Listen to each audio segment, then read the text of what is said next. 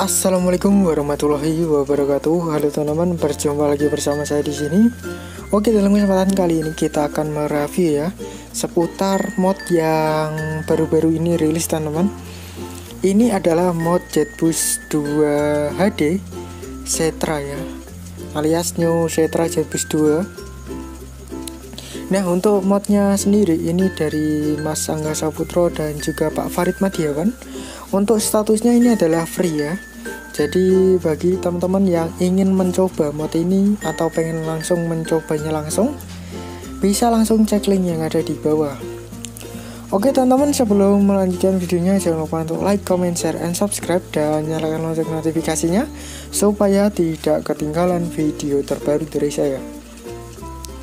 Oke teman-teman uh, jangan lupa juga ya untuk subscribe ke channel yang ada di deskripsi itu ada beberapa channel salah satunya adalah channelnya Mas Ilham terus ada channelnya Mas Medi lalu ada channelnya Mas LB Speed ya.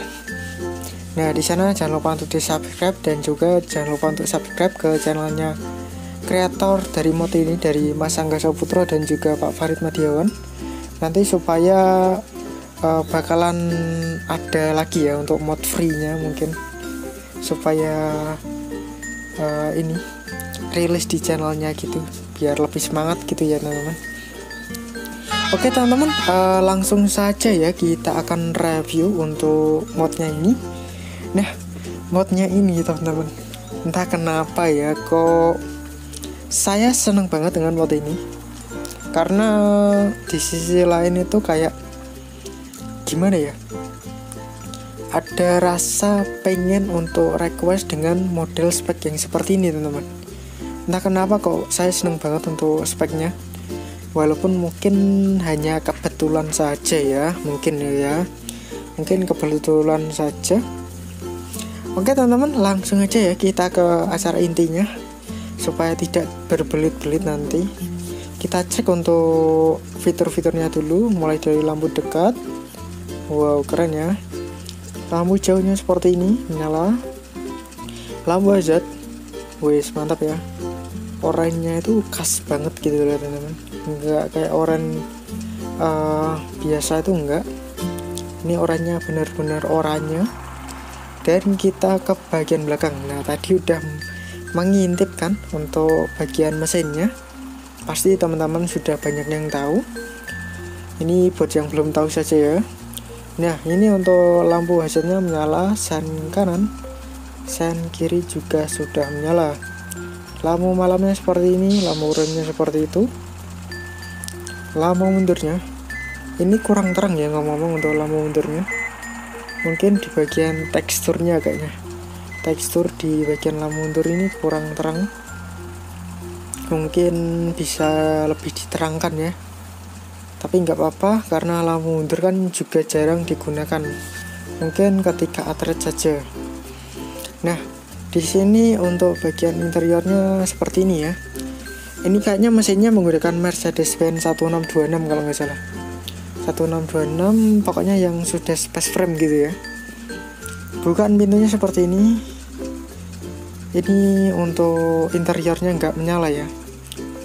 Untuk bagian interiornya terus untuk pintu belakangnya ini ngikut sampai ke bagian kaca. Tapi kalau ini di bagian setengah gitu lebih keren gitu ya teman-teman. Jadi lebih bagus gitu. Kayak spek pariwisata tapi gini udah bagus juga sih. Terus kita cek untuk bagian wiper kita lupa tadi.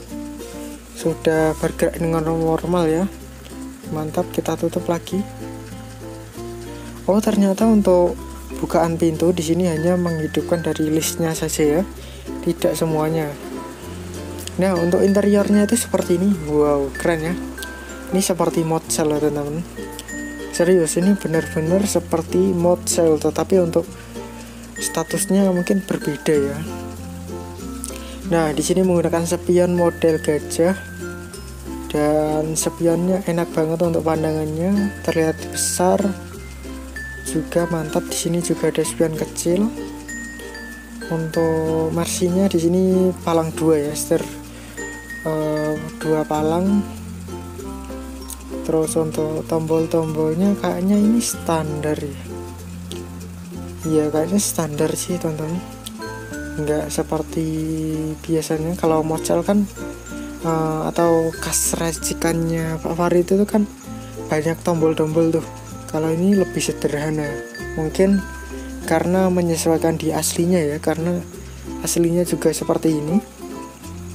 Untuk teksturnya dari kayu ini keren banget ya. Seperti di dunia asli gitu untuk wood panelnya.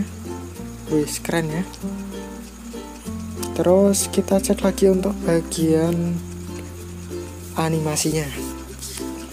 Nah ini animasinya bener-bener istimewa banget teman-teman. Entah kenapa kok saya lebih suka banget untuk mode ini. Yang pertama itu animasi standar ya. Suspensi standar gak ada perubahan. Terus animasi kedua ini keren banget. Ya ini menurut saya pribadi ya. Ini sesuai kayak gimana ya? Keinginan saya gitu loh teman-teman uh, lebih suka itu bagasinya dibuka itu kiri satu dan kanan itu satu. Terus untuk bagian belakang ini kan kap mesin. Nah kap mesinnya standar lah ya. Bisa berputar ini seperti modsel lah ya. Nggak ada bedanya sama mod cell.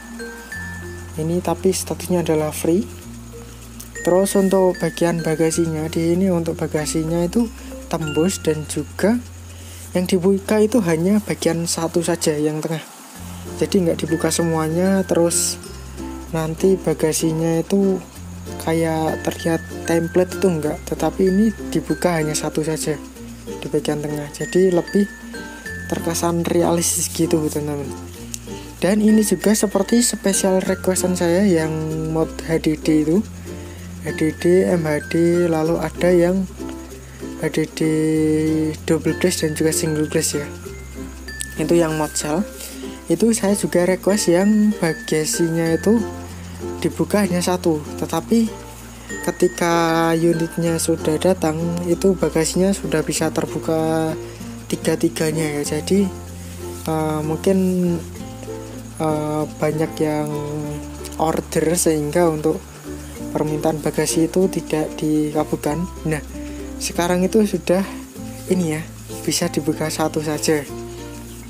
Nah setelah itu kita cek untuk animasi ketiga standar ya. Uh, shadow ini standar sekarang kan eranya shadow atau bayangan palsu ya. Terus yang kedua yang saya suka adalah ini ya di bagian belakang itu nggak ada toiletnya jadi sudah full seat ya.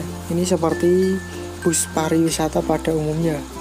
Ini di zaman 2013 2014an itu booming banget ya. Mulai dari ada bus Agam Tunggajaya terus ada bus seperti Santika terus ada Subur Jaya itu memakai body seperti ini teman-teman. Jadi dulu itu sebelum ada eranya Jetbus 3 itu ini Jetbus 2 itu menjamur banget ya bahkan Jetbus 1 itu dikatakan bus jadul gitu ya dulu itu kalau sekarang kan Jetbus 2 yang udah jadul giliran yang Jetbus 3 yang sedang booming gitu ya teman-teman entah nanti akan ada Jetbus 4 atau tidaknya saya juga belum tahu ya teman-teman Nah, untuk interiornya seperti ini terlihat besar ya, mantap. Untuk pandangannya juga enak. Di sini ada dua varian, yakni varian yang aluminium, juga ada varian yang velg seperti ini, teman-teman. Ini kalau diberi livery Agam Tunggajaya yang uh, Archiles atau yang apa itu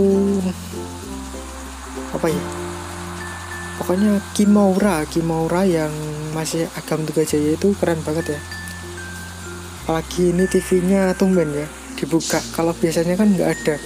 Itu yang XJD itu nggak ada TV-nya malah. Kalau ini kan ada gitu ya. Ini cocok banget untuk spek pariwisata teman-teman.